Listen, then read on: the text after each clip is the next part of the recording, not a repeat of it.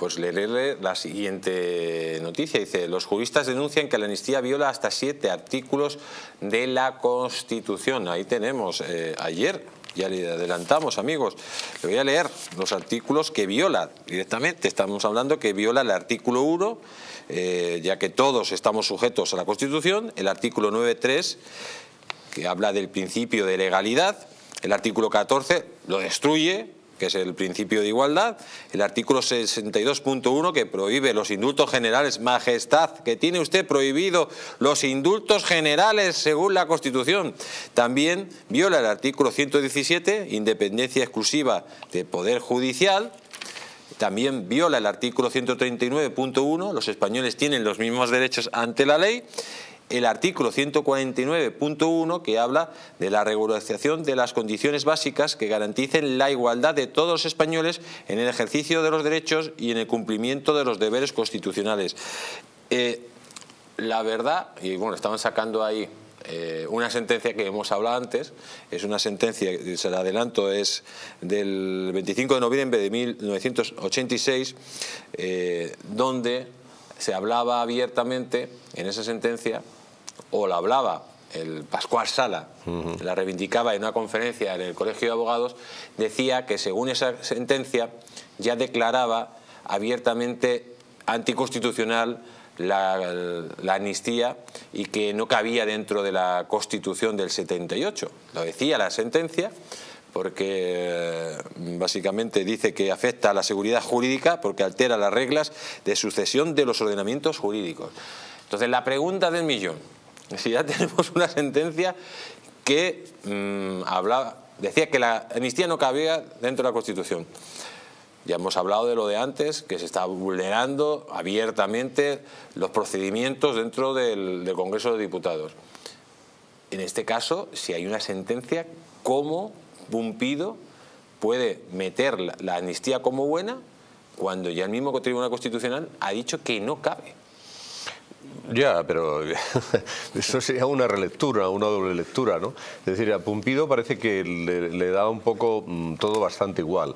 La ley la han hecho con un, un preámbulo absolutamente eh, impresionante de largo, lo han hecho pues eh, mirando al milímetro todo lo que podían ver para que eh, pueda pasar el Tribunal Constitucional, que lo va a pasar, aunque por cierto que el señor Juan Carlos Campo ha dicho que él, como no le permitan abstenerse, va a votar que no a la, ley de amnistía.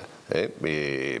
y no, las tiene todas consigo, ¿eh? porque puede haber eh, juristas, o mejor en este caso vocales, progresistas, que bueno, son, ante todo son profesionales, son magistrados y pueden llegar a la conclusión de que bueno, no, no podemos pasar por cualquier sitio. ¿no? Entonces, yo es la esperanza que podemos tener, que haya profesionales, como en este caso parece el señor Juan Carlos Campo, que le ha dicho que lo suyo es abstenerse porque, porque en su día dijo que esta era una ley manifiestamente inconstitucional y que ahora parece que Pumpido no quiere que se abstenga, porque claro, puede ver, la mayoría del Tribunal Constitucional la puede ver en peligro y por tanto lo que quiere es que esté allí y que vote. Y, y entonces ha dicho Campo, sí, vale, pero yo voy a votar que no que no es constitucional y ahí tiene un problema. Y porque además aquí hay dos cosas más. El señor Pumpido también se tendría que abstener y luego la señora Laura Díaz, que es la que pusieron, que pues, trabajaba con, con Bolaños, también se tendría que abstener porque han sido partícipes en todo este, en, toda la redacción. Y perdería la ventaja porque me hace que son 4 a 7. En, eso, en, ese momento son 4 a 7, por desgracia son 4 a 7. Gracias a, la negociación del señor Casado. Sí, no, y que, que hay una plaza vacante que pertenece al que le pertenecería a teóricamente a los conservadores, pero que ellos no quieren renovar, que la están bloqueando. Todo esto es un juego, ¿no? Un juego parece como de niños, pero que es muy importante, porque nos estamos jugando aquí pues, eh, el, Estado de Derecho en España.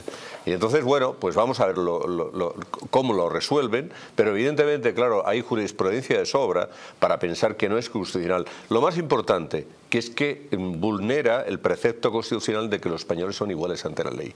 Y por tanto, si usted, o a mí, o a cualquier ciudadano que nos esté en ese momento escuchando o viendo, le condenan, tiene que tener las mismas posibilidades de amnistía que cualquier otro, ¿no? Por el hecho de que sea político y vote a favor de Sánchez, puede tener más derechos que nosotros que no podemos votar a Sánchez, porque esto es una prevaricación.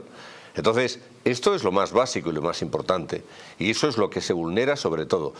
Ahora, bueno, como al final el que tiene que resolver es el Tribunal Constitucional, el Tribunal Constitucional dice que, que es constitucional y aquí se ha acabado, solo nos queda Europa. Esta es la cuestión, solo nos queda Europa. Por tanto, el recorrido de Europa hay que hacerlo y hay que intentar que la tramitación de la ley sea cuanto más larga, mejor.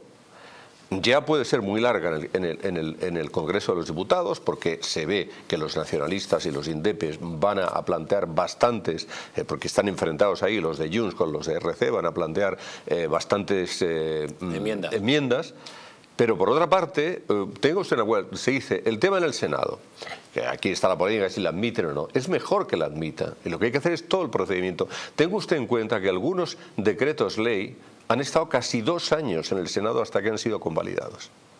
Es decir, dependiendo de cómo se organice y si se organiza bien, se puede estirar muchísimo el procedimiento pero muchísimo se puede estirar el procedimiento porque hay muchos vericuetos legales y si unos los conocen, los otros también. De manera que dé tiempo para que la justicia europea también se posicione y que la Unión Europea diga algo, porque aquí mm, la salvación un poco la tenemos en la Unión Europea, ¿o no? ¿Eh? porque tampoco creemos mucho, porque ya hemos, ya hemos visto que son muy valientes con Hungría y con Polonia, pero sin embargo con España no.